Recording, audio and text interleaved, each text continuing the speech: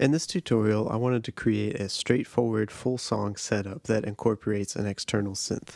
We're going to be using MIDI notes from our kick and drum 2 to play the synth, and several CCs to modulate the synth's parameters. If you're following along with the SPS file for this tutorial, there are a bunch of different synths that will work with this song. The only requirements really are that it can be monophonic, can be played with MIDI input, and that some of its parameters can be controlled by MIDI CCs. MIDI control of the knobs is fairly common. See your synth's manuals for details. I'm using the Moog Minitaur. It's a simple synth, East Coast subtractive setup. When choosing what parameters to control with sensory percussion, I went for the knobs that I usually reach for when playing this synth in a quote unquote normal application. Here's what we're modulating. And here's a chart for what the CCs are controlling. Feel free to change things around to meet the needs of your synth, or if you're using a soft synth, you can use this as a guide for how to map the controllers. This song is set up so that you can play a bass note on your kick, as well as some relevant melody notes with the zones on drum 2. The controllers allow you to intuitively modify the tone of your synth. Make sure to adjust the control parameters to work well with your playing style and your synth. Each section of the song has a pretty similar layout. Drum 2 is pretty much devoted to the synth, except for a melodic sample cycle on the stick shot zone. Notice that drum 3 does not send out any MIDI notes. It has most of our sample action on it.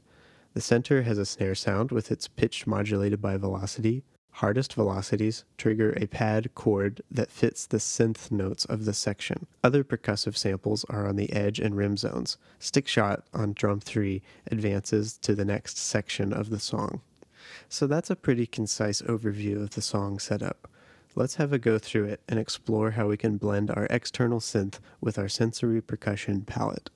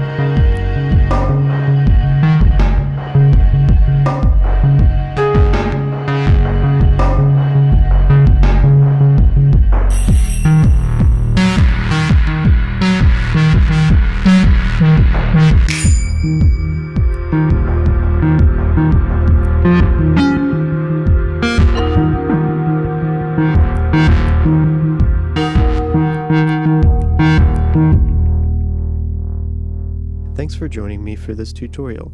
You can find the files for this and all the other tutorials in this series on my Patreon. Feel free to hit me up with any questions.